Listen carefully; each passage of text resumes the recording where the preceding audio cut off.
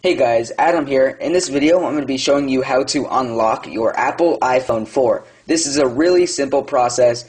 To begin, you have to be jailbroken, so go to Safari and type in jailbreakme.com, then slide to jailbreak. Make sure you're on firmware 3.1.2 and higher, and less than firmware 4.1. So once you're jailbroken, you can exit out, and if you're unlocking to T-Mobile USA, make sure to go to Settings, then click General, Network, and disable 3G.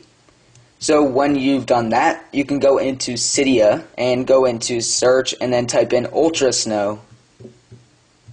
There it is right there. Make sure when you're in Ultra Snow, you're in version 1.0-1 or higher. If you're on a version less than this, this will not be working on the iPhone 4. And if you're on a version less than this, go to Manage, Sources, Edit, Add, and then add the repo666.ultrasnow.com repo.